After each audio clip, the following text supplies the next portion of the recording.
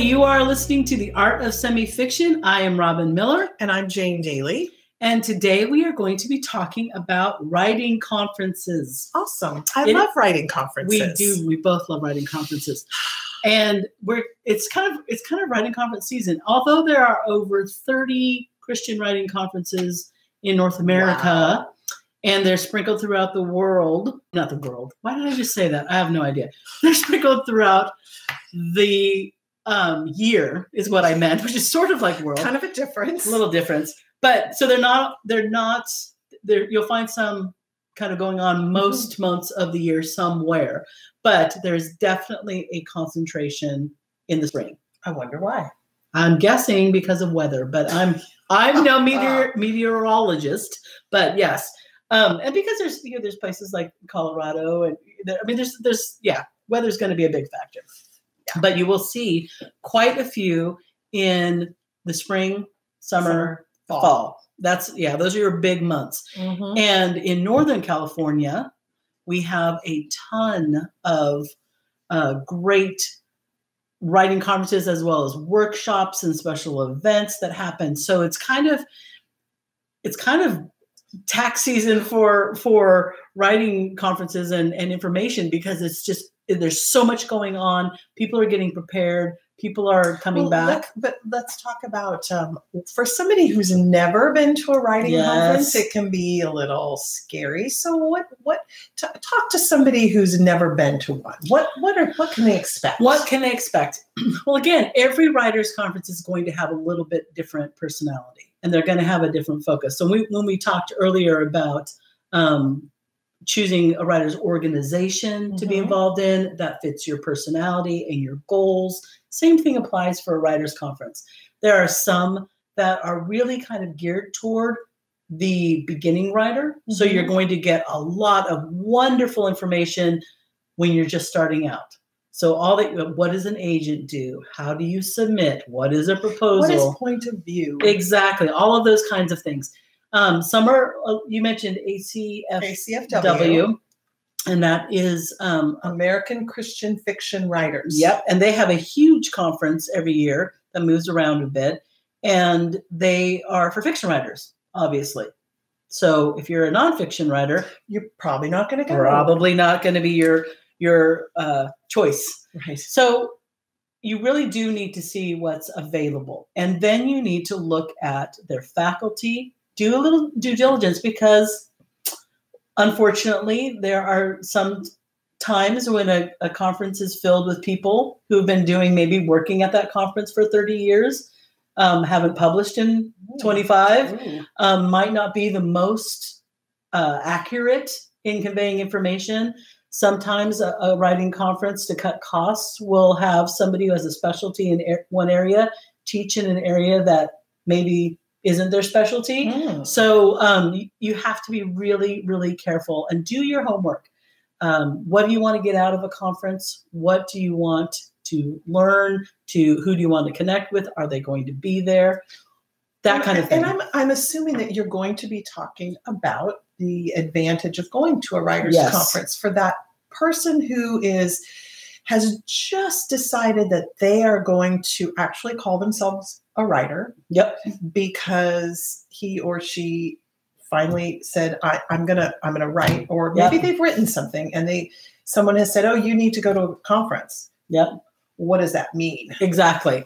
Well, I think you have to think of it as an investment. okay It really is that. And if you think of it as an investment in your writing career, in your writing skill set, then I think you'll be one step ahead of being diligent and figuring out whether or not a particular conference is for you. Because you're going to get a lot of different things from a conference. One is teaching. Every every writers conference is going to have teaching. Whether it's applicable to you or not is kind of yet to be seen. One of one of my favorite one of our favorite writing conferences is West Coast Christian Writers. that's right And one of the things that I value about them is not only do they have the beginning 101 kind of classes, but they really think about the intermediate and the advanced writer right and what could benefit somebody no matter where they are on the journey. Hugely important because not all writers' conferences do that. So you'll get teaching and you have to check whether or not it's teaching that is is applicable to you. Of course, you're going to meet people. It's it's like it's the sweetest thing to have in a oh. whole group of your tribe. It's it's like I I found my people. Yeah, I mean, you walk around with people who are just like weeping for joy that that introverts. I mean, most writers are introverts. There, there, Absolutely. there are a small segment that aren't, but most are introverts, and yet that doesn't mean that we don't want or need or crave connection. And when we get it with somebody who understands the process we're going through and just the ups and downs of writing, it's, I mean, you just see people going, you know, my people, my Right. people. I'm a word nerd. You're a word nerd. We get along. Will you understand when I say my character did this? Because usually people who don't write think, what do you mean your character did that and you didn't expect it? Yeah, you're writing it. because that's what happened. Absolutely. So there, I'm- and no, and I'm telling you, there's you cannot underestimate because I've said this a million times that writing to me is a team event. I when I started, I thought it was a solo event, but the reality is through encouragement and just just help and critique and writing partners and everything that you do, it's a team event, especially if you're a Christian, because you know Satan doesn't want anybody who who is trying to honor the Lord to speak into this world. And the, So- thing, the thing that that has been the most valuable for me is that I have made friends, just incredibly close, good friends who don't even live in the area. Yeah. But because I've met them at a writers conference, we email, we text, Yeah. we phone, we Facebook, and and they get it. Yes. When, when I post, so and so rejected my work, they understand. Whereas somebody who is not a writer doesn't get that how Yeah. how much that stings. Absolutely. And I- and it, it's a it's a step out of your normal life. You and I had known each other for what two three years, something like that. We were on a board together. We saw each other at events, but it wasn't until a writers conference when magic happened well, yeah, because we were out of our our world. But and you're spending when you're at a conference, you're spending almost 24 hours a day with people. Yep. Because you've got your breakfast and your workshops and your lunch and your workshops, your dinner and your after dinner night owls. And and you've you've got oodles of time to spend Yeah. with people to get to know them. And that's exactly what we fell. We fell in friendship love at a writers conference, and the rest It was beautiful. history. And and I, I do think that there's stepping out of your regular life. So especially if you are if you're married, if you have children, if you have a full Oh, time job, it is really hard because you you're just kind of grasping at moments to think about writing. And this is just an, a a really wonderful way of stepping out of that regular kind of rat race and letting yourself just be immersed in the craft of it, the encouragement of it, the calling of it. So I think there's huge And I've gotten some great ideas for articles yeah from a writers conference, not how to write, but like, oh, how about if, you know, let me jot that down. Just ideas that that it's just because you're out of your regular day-to-day four walls or Yeah. work or whatever, um, totally different atmosphere. You get some your mind has a chance to be creative. Absolutely. And one of the practical things that happens when you're in that environment because of the t- the instructors and the faculty that are there, you're going to meet industry professionals. Right. So, for example, I met my agent when I was at a writers conference. So did I. And most people don't think of you think of things in a more formal capacity, but I, I, I'm not a non-Christian writer, so I don't know how it is in the general market. But certainly in the Christian publishing world, it's it's a team event, even with the editors and publishers and agents. So you build relationship, and that's what happened before my agent even was an agent.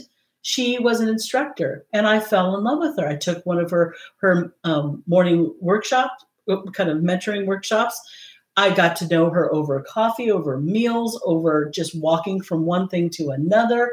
Fell in love with her to the point that when she became an agent, our relationship was such that we knew we connected. Mm-hmm. And again, the rest, as they say, is history. And so you're going to get to that's know. something that I know we're probably going to cover in a future podcast, but it's also how do you how do you carry yourself? So at a Yeah. writers conference, do you step out and meet people? Are you friendly? Um, do you, you know, do you have a, a good, I want to say it's an old fashioned word, but the word is deportment. How do you, how is your deportment? Because Yeah. I know that agents and editors watch you. And if you pitch to them and then you turn around and gossip about someone or, Mm. um, you know, behave poorly, Yeah. You're less likely to be able to have that relationship that you want to have long term. I've got a good analogy for this. Okay. My my youngest is a musical theater. Well, he's an addict. Let's just be honest. He's he's an absolute addict. And one of the most important things, ironically, from a Christian director who was not a Christian theater, but she she was a Christian. One of the things that she said to um, a group, his, his very first audition of anything he'd ever done, said she said, "You are auditioning every moment you're in my eyesight." Wow. So, not only when you get up there and say, hello, my name is, and this is what I'll be singing, or when you're in your dance audition or whatever, when you're sitting in the chairs, whether you dump garbage on the floor, whether you talk unkindly to people, whether you show respect, you know, all of those things. And I thought that is exactly what you're talking about when you're at a writer's conference. If you want to become the queen of devotionals or the queen of Christian marriage, there was there this is another interesting thing. One time i was at a place where somebody a conference where somebody was there with her husband pitching uh, basically how to make the most wonderful marriage kind of in the world. But oh my gosh uh, nobody could sit next to them at a meal because they were yelling at each other. And Whoa. i know it was and it was i thought you know um i don't know it was just it was maybe super uncomfortable. Maybe that's the key. well, I'm not going to go that way. I'm going to just stick with my, you know, 20 plus years marriage, and I'm going to stick with our not yelling at each other in public places and a Christian dining room in a conference. But but I think that that's that's an important point to make is you really people are going to be wanting to know that you're living out. If you're about grace and you don't show grace to anybody, if you're writing a book about forgiveness and everybody's on your list, you know, you're not going to really show that you are really writing about the calling that God has in your life. Well, and I want to also bring something else up that I want to make sure that you know your your conferees know that you may go to your very first writing um, conference and you expect that you're going to come home with a contract. And Yes. it does not work that way. I remember that James L. Rubart, my good friend Jim Rubart, has said when you go to a writing conference, it's not about contracts, it's about contacts. You make Mm. as many contacts as you can, carry some business cards, with your picture on them.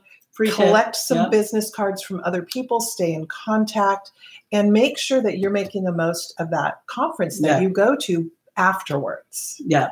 And I think that that people get a little shy because if we're Christians, the, the whole idea of self promotion, or if you're an introvert walking up to somebody, it you know it can be a little bit daunting. But you have to think about if God's calling you to write, and you're saying, "Yeah, I'm too shy to do that," or I- or or I don't have anything to say, but God's saying you've got something to say. We got to stand on what He's calling us to do. Right. So let's get a little preachy right now. If He's That's right. calling us, He's going to equip us. And what did Bill Giovannetti say at the West Coast Christian Writers Conference? We are responsible for faith, and God is responsible for Outcome. outcomes. So that's that was freeing to me as a writer. All I've got to do is be obedient, That's right. and we we've got over we've got choices. The one good thing about about Christian writing, um, the, the publishing industry is we are it's doing pretty well, and we've got a lot of options for educating ourselves. Like I mentioned, we've got over thirty. Um, and those are just kind of the major conferences. And those are Christian conferences. Right? those are Because Christian writers there conferences. Are also conferences that are not, you know, I wouldn't call them non-Christian, but they're secular. They're Yeah, the general market. They're secular conferences that are also really good. Yeah, spe- especially the genre specific ones. Mm-hmm. Those are where you're just going to get information about your specific genre that's a little bit unique. That's those are are phenomenal. Mhm. But but in the Christian world, having over 30 That's that's amazing. and that's not those are not the one day intensives and the workshops and all those other ways that you can get um, kind of like mini conferences. Those are real big conferences. So you've got a lot of options. Um, two of our favorites, we're both partial to again West Coast Christian writers. yes. Um, I think that she's got to bring out her cup again. I don't have a West Coast Christian Writers Cup, but well, I do actually have one. I just don't have one here. Um, but it it to me, it is probably the most balanced and most cost effective and most excellently staffed conference on the West Coast. It's it's it's really it is awesome. Um, but again, do your due diligence. And it's amazingly affordable as well. That, that's I mean it's well it's stupid money to be perfectly honest. It's ridiculously inexpensive for what you get. It, it mm-hmm. is a true ministry, um, and that's that's led by Susy Flory, who's a New York Times bestselling author right. and teacher, and she's a phenomenal human being, and she has really brought this um, conference into the modern world because it started out years and years and years ago. She took it over, and over the last several years, it's just been revamped and it's just mm-hmm. been phenomenal. It's, it's, a great conference. We, we also love Oregon Christian Writers yes, up in we Oregon. Do. Look, look, look, you can't see it on the podcast, but you can see it on the video. Her little eyes lit up because she just loves it. Because it's the very first writing conference I ever attended. I attended their one day conference. So they have two kinds. They have the longer summer conference, mm-hmm. and then they have a couple of they one have day. Three one day conferences, Yeah. one a quarter, and then they have a big conference in the summer. So I attended a one day just to kind of dip my toe into that little writing puddle and found out that it was not threatening at all. And it was fabulous and amazing. Yeah. And so when summer came around, I went to the long, longer conference and as you said, you find your people, you Yeah. find your tribe, and it's like being an alien. And you know, we're here, we're dropped on this earth, but I found another little tribe of aliens Yeah. who all thought Yes. the same way. all from the planet Zargon. But that yes, and that's that's the environment is going to be different every single conference if they're in the same place especially they're going to have some sort of physical kind of um, atmosphere that you need to connect with and they're going to have a mindset that you're going to need to Mhm. connect with. So how do you choose which which conference? For me the big the big deal if you're investing which i'm assuming everybody has limited finances no matter who you are limited. Um, if you're going to invest your conference dollar somewhere i say you need to be realistic about where you're at and find the conference that meets those needs it is so wonderful to say when i go to a conference and um, I hear somebody say, Oh, I'm going to be there too. I love the connection of, Oh, I'm going to get to see that person, like you're Mhm. mentioning. I don't see any other time than a conference, but it's really not, it's a very expensive way to just meet, for, you know, reconnect with To make friends. Yeah. Go, go do a, a girls' weekend in Lake Tahoe or something. That'll be cheaper than doing this. So, Right. so make sure that you're going to a conference that is currently meeting the needs in your writing career. Are you at a place where you're wanting to start pitching to agents?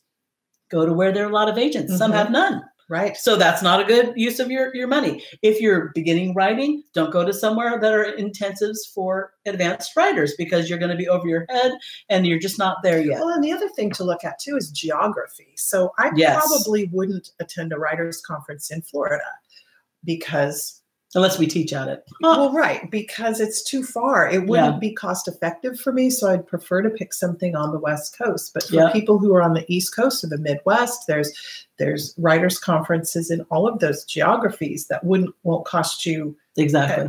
you know, an arm and a leg for for plane fare Exactly. because you're going to have your conference uh, cost. You're going to have your um, if you have to spend money for lodging. and then food and then uh, you know transportation. Yeah, it can add up, which is why you need to really look at that the the what you're getting for what you're investing. Right. So we're going to just go through a couple points to just wrap up of how to get the, the most out of a conference. One is what we're talking about, planning ahead, Mhm. really figuring out what the return on your investment is going to be. Right. It, are if you're looking for agents, are there going to be the agents you would like to be connecting with there? If you're there's a topic, for example, romance writing. Are there and you're a romance writer and you're going to a conference where they don't even have a workshop on it? Probably, Probably not not a good choice. Um, here's a big one, and here's something that I didn't do. My first my first conference, I had a binder with everything highlighted. Every I mean, I had maps that were from one workshop to the next. I was going to do everything that was humanly possible at this workshop and meet everybody and all that sort of thing. And I wore myself out. I absolutely It's easy to do because exhausted you're, you're pretty much drinking from a fire hose. Yes, and I, and what I what I thought is if I'm taking time away from my family, and at the time I had special need kid special needs kids at home, that was I thought I've got to get every bit of information and value out of it. And what I did is nearly kill myself. So don't try to do too much. So pace yourself. Pace yourself. Take good notes whenever you go to a class, but consider buying the recording. Yeah. That's another, it's it's always a fraction of the cost of of whatever conference. And you can listen to it over and over and you can see different uh, classes and workshops that you weren't able to go Yeah. to. So I say buy those. And the one thing I say is don't ever leave with that deer in the headlights look. Have some action points. And if you don't know what those action points are, start talking to people. Mhm. The instructor that was talking about platform, go to that instructor say, Can you just give me one thing I, that you think I should do in this next month? Whatever it is, find some action points. And if you got that and you can bring that into your next phase of your writing career, you got your money's worth. Awesome. Well, you have been listening to The Art of Semi-Fiction, where we explore every corner of the written word. I'm Jane Daly. And I am Robynne Miller. Thank you for listening, and we'll see you next time. And don't forget to subscribe. And like us. Thank you.